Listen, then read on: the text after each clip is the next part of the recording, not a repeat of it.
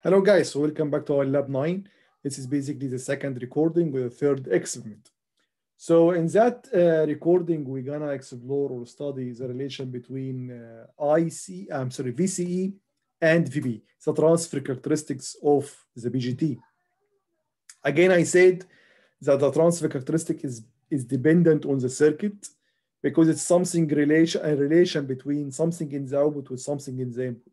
You, the inputs and the output definition dependent on the user.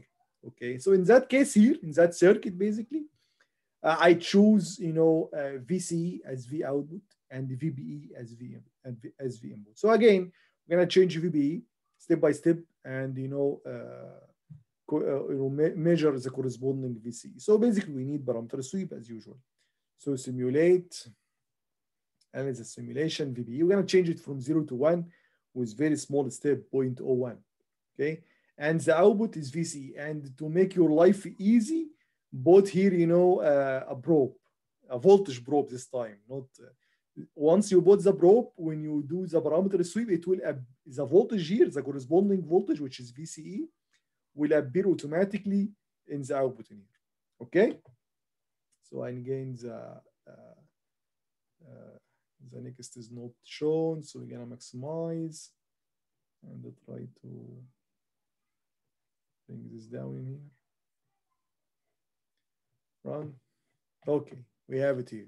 This is just like the, the ones in the lecture. Although this is of course of course more practical. The one in the lecture has many uh, assumptions like for example the transition between you know cut off and active is really uh, is uh, is not smooth. So we have very linear you know characteristic in, in active.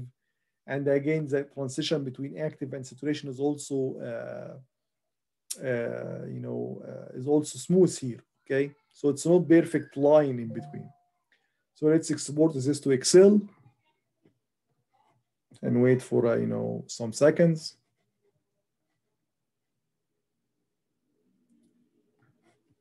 Here we have it here so this is basically the input VBE. It is output VCE.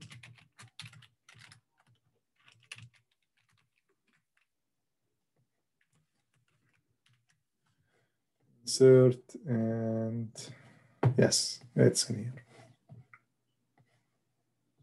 Okay, so just like what we studied in the lecture, uh, this is basically the cutoff region.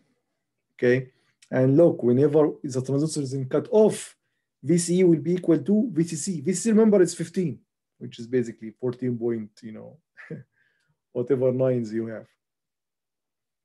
And here the transistor is in the saturation region. And look, the voltage is very small. Actually, our, our approximation for the for the saturation region that VCE is equal to 0.2 is, is really big for what, what, what we are seeing in here. So basically, the voltage is here is around 0.03 which is really very small. Okay, but still it's a it's a good approximation, the point two, and it's acceptable. The active region is not perfect linear like what we studied in the lecture, you know, because basically the the, the ones that we studied in the lecture, the, the, the characteristics that we studied there is based on basically the constant voltage model of the diode that the diode is perfect. You know, whenever it reaches 0.7, the, the voltage will not change VBE and it will remain 0.7 all the time. Of course, that's not, you know, the uh, most accurate. And, you know, there is a relation between IC and VBE. This relation is exponential, It's not perfect like the constant voltage model. So you will have, you know, uh, some transition here, you know, some non-linearity at the beginning and at the end of the active region. This is basically the active region between here. Okay, but in the middle of the active region, you can say it's almost linear.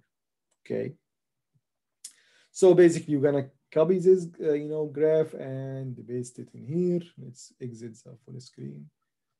Uh, you know, in the manual. Okay, guys, this was basically the transfer characteristic of the BJT. Thank you very much for watching this video and see you in the next lab. Bye-bye.